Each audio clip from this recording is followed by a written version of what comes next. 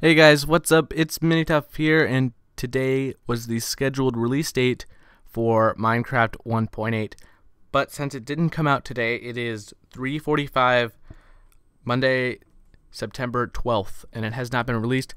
So I decided to show you guys how to install the Minecraft 1.8 pre-release. Uh, the pre-release has come out, and I'm gonna show you how to install it. So I'm just gonna show you right now that I am actually running the normal. I'll force update it just so you can see that I'm running the 1.7.3 Minecraft version. So first thing we need to do is get the actual file because you have to install it yourself.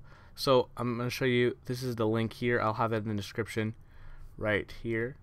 So first thing you want to do is click on Minecraft 1.8 pre-release, download the minecraft.jar.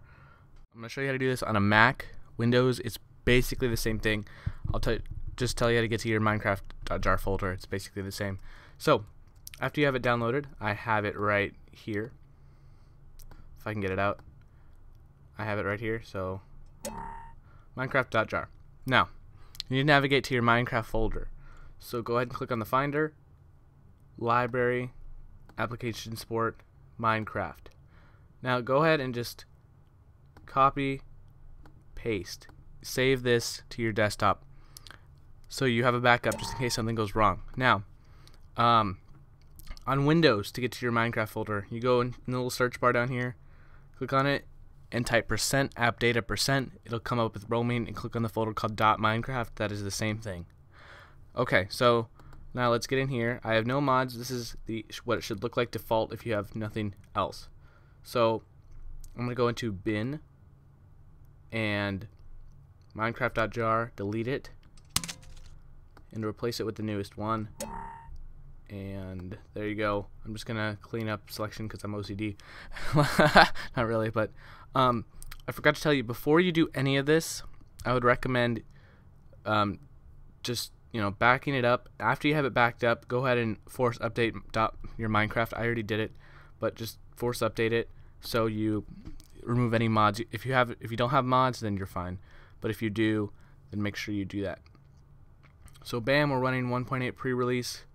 Um, some of your old worlds won't work uh, unless you do some some other thing. There are some videos on how to do that. If you want, I will tell you how to get your 1.7 to load up the new features that have been implemented. Um, so you know you still have a few options. FOV, it's like the point of view, video settings. Um, you can actually change brightness now.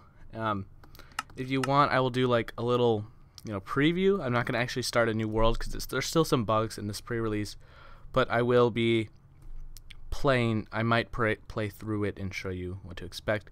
This video is going to be dead in a few weeks because nobody's going to want to know how to install this. So thanks for watching, and I will see you guys next time right here. Bye.